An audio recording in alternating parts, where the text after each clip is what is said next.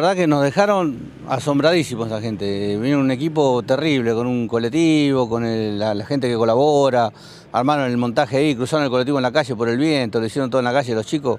La verdad que de 10 puntos, no, no, más no se puede pedir. Bueno, de- tuvimos la, po- la posibilidad de ver algunos videos, de ver algunas fotos y se, se los notaba en- entusiasmados a los chicos. ¿Qué, cómo, ¿Cómo se portaron ellos? No, eh, se enchufaron en la- la- todas las obras que hicieron los chicos, aparte las vestimentas, los personajes, eh, se engancharon un montón. Yo pensé que no iba a ser tan así, ¿viste? como son chicos de barrio. Eh, no, no. Aparte vinieron de, de ahí de la cuadra, se sentaron en la calle en los bancos, nada, no fue algo.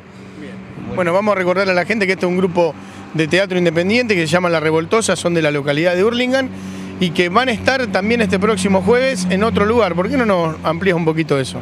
Sí, mañana a las 4 de la tarde van a estar en la fraternidad. La gente de ahí de la fraternidad, buena, onda, conozco unos chicos, me prestaron en el salón. Eh, volvemos a contar con el sonido de Danilo, que va a llevar las luces, ahora va a hacer todo un show él. Y queríamos convocar a todos los comedores, los merenderos que quieran ir, es todo eh, gratuito, ¿viste? O sea que eh, es para todos los chicos de acá de Junín. ¿Por qué no nos volvés a repetir, como en la nota anterior, por qué estos chicos llegaron acá a Junín y qué relación tenés vos con esto? Eh, mi hija el año pasado salió becada en un viaje a Estados Unidos, a Los Ángeles, y conoció un montón de docentes de todo el país. Entre ellos una señora de- de- del grupo este que tiene los tres eh, hijos que son alumnos del teatro. Y hicieron contacto con el, el director del teatro y bueno, se pusieron en contacto con mi hija. Eh, mi hija está internada, eh, pero hoy ya, ya está en casa. Y en, en relación a ella yo hice el, el puente y nos vino bien el tema de los merenderos y bueno, nos contactamos y acá están. ¿Es la primera vez que haces este tipo de actividad solidaria o ya habías participado? No, siempre lo hice, toda la vida. Mi vieja me enseñó eso y mis hijas me apoyan y no, no, lo hacemos siempre, siempre lo hacemos.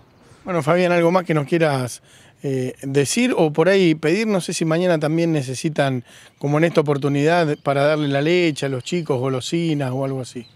Mira, se complicaba un poquito porque el salón, me prestaron el salón, yo no quiero abusar, no charlé nada ni pregunté del tema de la cocina. Eh, pero no, la idea es que los chicos vayan, lo que sí por ahí necesitamos que hay algunos comedores que no pueden llevar a los chicos, alguna persona que se, se ofrezca para hacer el traslado.